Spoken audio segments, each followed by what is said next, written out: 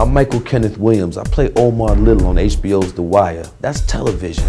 There are some real life issues facing Baltimore. Did you know that 74% of the youth population are African American and 97 to 100% of the youth that's locked up are black males? Racial disparities do exist. Community programs and rehabilitation are key. Let's focus on our youth. Rewrite the script and make a difference. Visit flbcinc.org. Check out DMC. Hi, I'm Keion Carpenter, former Atlanta Falcon.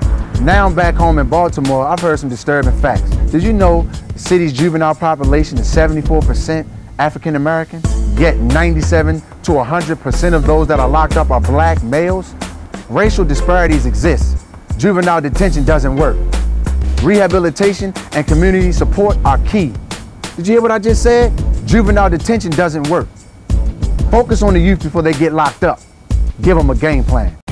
Did you know that 74% of Baltimore's youth population is African American, but 97 to 100% of kids in detention are African American? Did you know that kids that get locked up are more likely to reoffend? Did you know that it costs you more money to have a kid in lockup than it is to have him serve in the community? Did you know kids that get locked up are less likely to get a job? We need more services and programs in our community to keep us out of detention.